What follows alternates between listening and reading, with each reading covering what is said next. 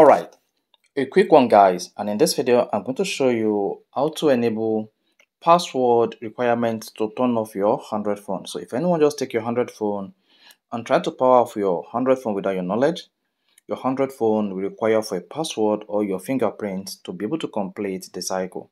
So with these techniques, no one will be able to turn off your Android phone. So I test run these particular tricks on my Android Oppo Reno 5 and it works perfectly, which I believe this works on almost all Android devices. So the only difference is that the steps to achieve this might be different depending on the type of Android phone that you are using. But if you are using an Oppo phone, in this video you will learn how to turn on password requirement before your Android phone can easily turn off. So the first one to do is want to go to your Android phone settings.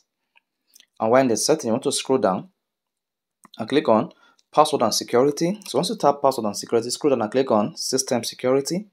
Once you click on system security, you just need to scroll down to device security and under device security, you want to tap require password to power off.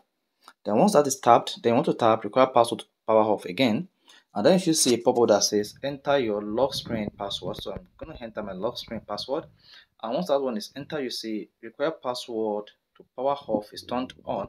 So when next you want to turn off your Android phone by pressing the power button, and you swipe up this, you'll be prompted to type in your password or confirm your fingerprint lock. So mark you, whoever knows your password and your fingerprint or whose fingerprints on your phone will be able to power off or restart your Android phone without your knowledge. So guys, if this is helpful, you want to hit the like button, of course, you want to subscribe to our YouTube channel for quality videos just like this.